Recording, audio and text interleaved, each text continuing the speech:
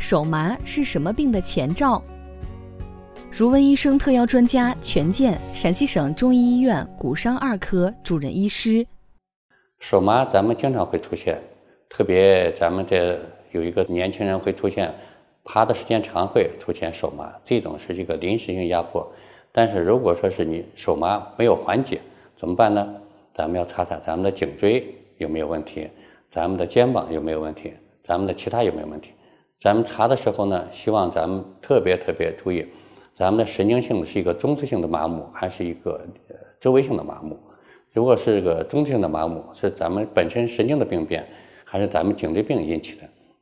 所以像这时候，咱们得对这个病要全面的呃进行了解。特别手麻的时候，呃，咱们怎么去治疗呢？用一些药物，但是一定要在专业医生指导下，按规定、按要求去服用。手麻松开压迫地方以后，特别早上起来以后，如果好多人早上起来手麻，你活动一会儿，如果手麻会缓解的话，这个时候会出现是，呃，咱们考虑一下是不是颈椎的或别的问题，或者做一些肌肉的放松，做一些痛点的压迫，看它这个麻木还存在还是缓解。